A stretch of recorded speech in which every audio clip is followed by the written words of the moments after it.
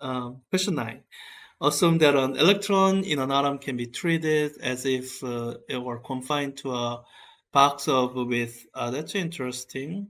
Um, and when it says box of with, I think it's talk about the one-dimensional box.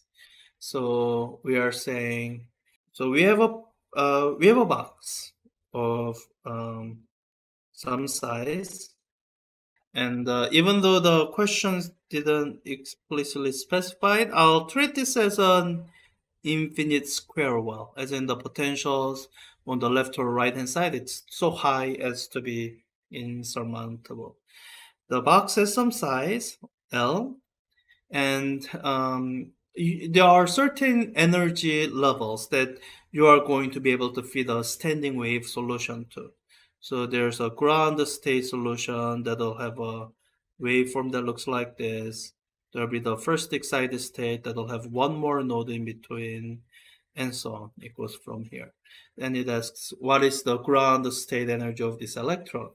And, and there's a really quick, intuitive way to answer this, uh, which kind of goes like this. Uh, let me demonstrate the quick portion. You can say, um, energy. So we are dealing with a situation where the potential energy of the um, electron is zero. It's kind of confined to a box within this region. We say potential energy is zero then basically this energy, all of it has to be kinetic energy, which is can be expressed as momentum squared over 2m. Now here, m is known. We are told it's an electron, so we are talking about an electron mass. So really all you need to figure out is uh, what is the momentum of, uh, of this uh, ground state electron. And this is where you can invoke de Broglie uh, hy uh, hypothesis.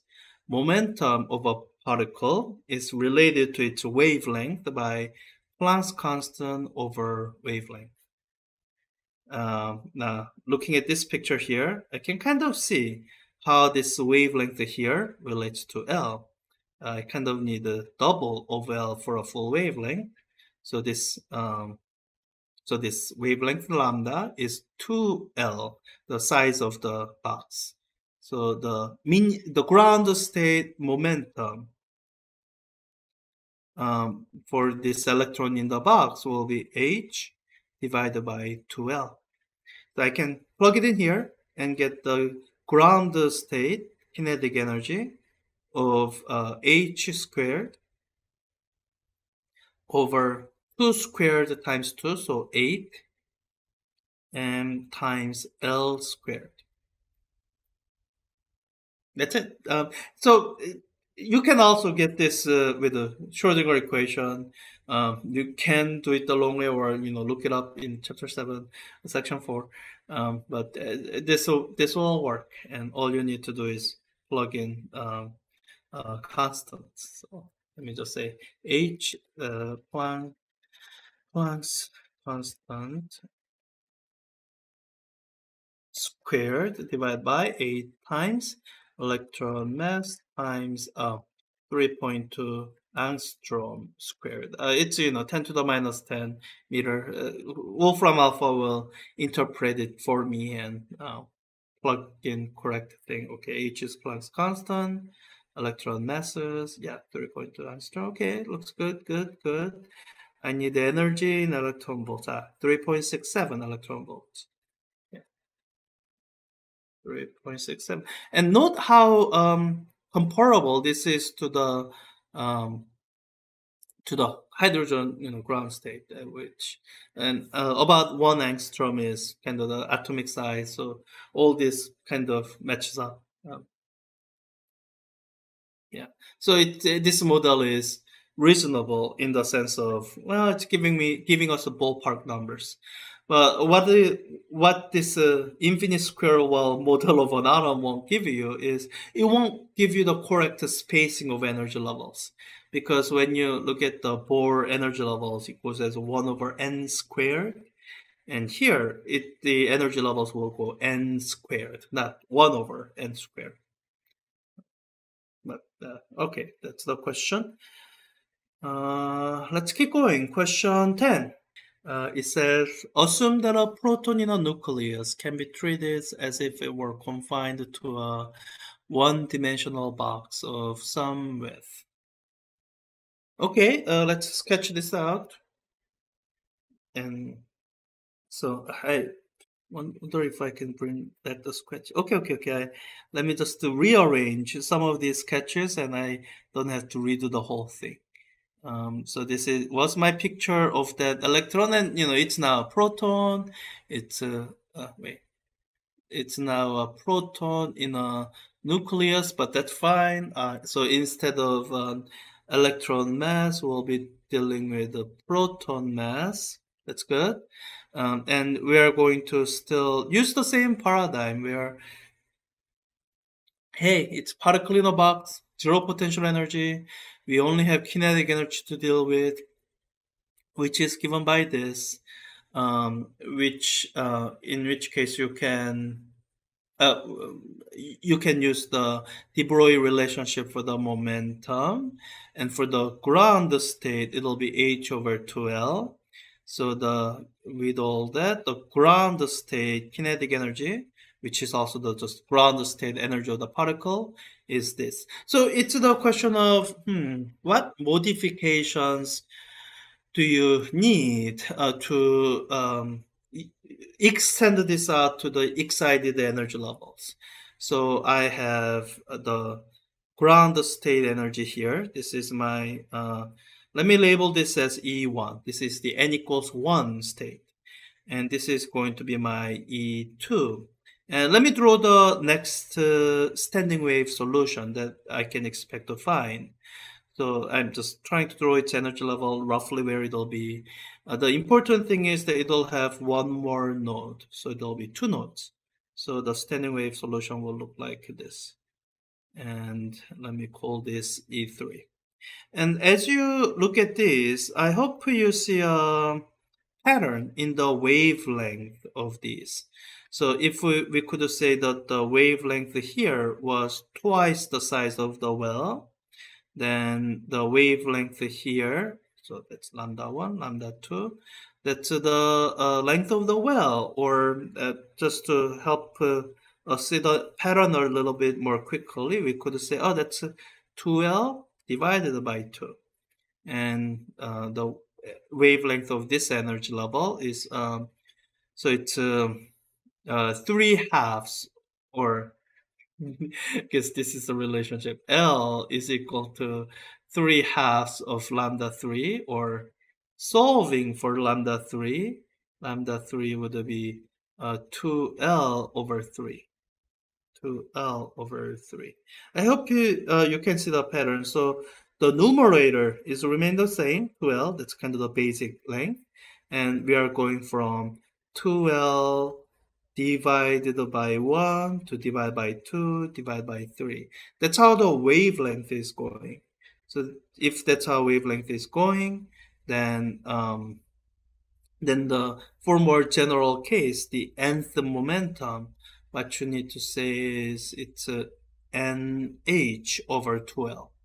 So uh, tracking this change to here, the nth kinetic energy it, nth level kinetic energy is n squared uh, h squared over that. Yeah.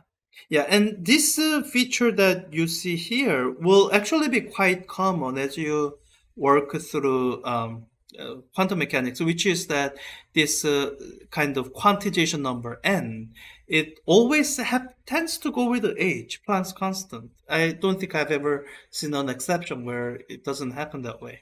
It's kind of quite common feature to see. So uh, let me just uh, plug in the numbers. It says what are the energy of proton when it's uh, in the state corresponding to n equals 1, 2, and 3. Okay, I can work out n equals 1, and then the rest I'll be just multiplying by 4 and multiplying by 9. So let's do that. Um, I have this uh, expression. Oops.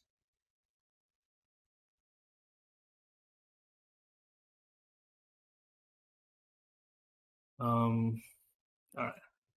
So, well, wait, do I already have everything? Planck's constant squared divided by 8 times, not electron, but proton mass now, uh, times, and what's the size? 7 femtometer, okay. Uh, 7 times 10 to the minus, I think, 15 meters, so 7 femtometer. Yeah, that's the, about the nuclear size. So that would be my ground state energy. And Wolfram alpha says, yeah, everything fine. In electron volt, it says uh, the 10 to the 6, that's a mega. So 4.18 mega electron volts, 4.18. And the let's just uh, make sure that the answer there is correct. And the rest is simply uh, scaling. So the n equals 2 state is greater than that by factor of 4. So 4.18 times 2 squared. That's uh, equals to 16.72. And 4.18 times 3 squared, that's the n equals 3 state, 37.62. 36.62. I can't remember these numbers. All right. Good. Okay. Uh, what are the energies of the photons emitted when the proton makes a transitions from the first and second excited state respect? Yeah. So it's just asking for difference in energy. Uh, the photon will carry on away the difference in energy unless somehow it has to happen by more than one photon. Uh, but I think the question is implying it should be one photon that makes that transition. So for this transition, it'll be um, 11, 11, no, sorry, 12.54, um, I think. I'm trying to do the subtraction in my head. this one should be 32.44, uh, think. These are super high energy uh, energies. I think even for gamma ray photons, these are pretty high energy uh, gamma ray photons, almost unrealistically high, uh, even though it says uh, fairly realistic, within an order of magnitude. I think that's what I mean. Oh. Okay, I think I have enough time to finish up the last question. Let's see, question, I think I've done 11. Ah, I've done this. All right, I must not have done question 12 in the past because uh, uh, hey, that's another particle in a box question. Uh, a lot of particle in a box question because uh, to kind of it's the only setup where you we can solve for explicitly and uh, it, it's also uh, one of those situations where you can get an answer just by through intuitive reasoning. Like I'm doing at this session, I'm actually not using Schrodinger equation like telling you to use. Uh, okay, a box, uh, electron confined to a box emits photons. Longest wavelength that is registered is uh, 560 nanometer. Okay, that's interesting. Um, so you gotta work this through, and I'm pretty sure that's what the hints are describing, you know. So um, it helps to have a sense of energy levels, which my previous picture kind of gives. So let me just uh, keep this around for now uh, so that I can point to things. Um, you can kind of see the energy level separations here. So when you look at the um, energy level difference, so you know there's no difference from the ground state to anything below. Like uh, this difference here doesn't mean anything. There's no E equals zero state that the particle can go down to. This uh, E equals one state that is the lowest state and you have this uh, energy difference delta E between 2 and 1 and um, and once you introduce E3 you have two different energy differences that you could look at. You can look at this delta E3 2 or you can look at this. Delta E 3 1 so if they had asked for something that corresponds to the largest amount of energy difference, uh, we would be in trouble because with the infinite square well, um, there's no limit. The E equals whatever, n equals infinity to the ground state, that can be anything. There's no limit, uh, which is where it's uh, uh a little bit uh, reassuring uh, I'm breathing a sigh of relief in seeing that it's looking for the longest wavelength. And given the relationship between the momentum and wavelength, longest wavelength means smallest momentum. Smallest momentum means smallest energy difference. So it's really looking for at um, between which levels are the energy level differences the smallest. And I think you can already begin to see that. Uh, going from E1 to E2, looking at this, that is already smaller than the next level. And as you go to higher level, this, with this uh, n squared dependence, the difference between neighboring levels will only get larger and larger. So really, what the question the information that the question is giving us is that this wavelength here, that's the wavelength of transition from level 2 to 1. So that's what it's saying. So it's saying, okay, so for that wavelength, that, um, or so the energy of the photon, which is h Planck's constant times frequency, which is Planck's constant times speed of light divided by its wavelength. So this wavelength, uh, transition 2 to 1, is given by the, so this energy of the photon is given by the energy difference between transition from level 2 to level 1. So we are looking at, okay, this is my nth state energy.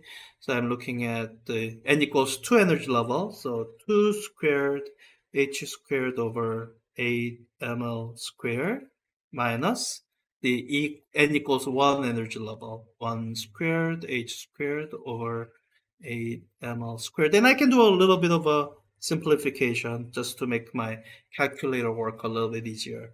I can factor out h squared over 8 ml squared. So h squared over 8 ml squared. So I have 2 squared minus 1 squared or 4 minus 1, which is up. That's just 3.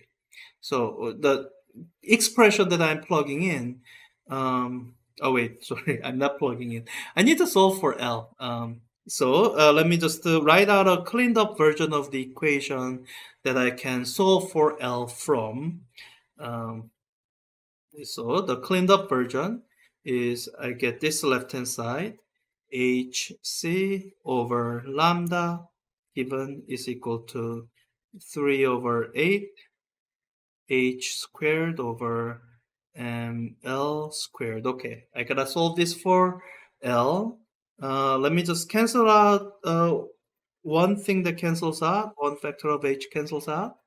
I can imagine moving L to the left-hand side by just multiplying everything by L squared. Um, oh, and uh, by and move this over to the right hand side by multiplying through by lambda over c okay? When I do that then I end up with on the left hand side just uh, L squared. On the right hand side L squares cancel and I have uh, 3h over 8m and times lambda on top divided by c on the bottom and to get um, to get the, the L, take the square root of both sides, and we're done.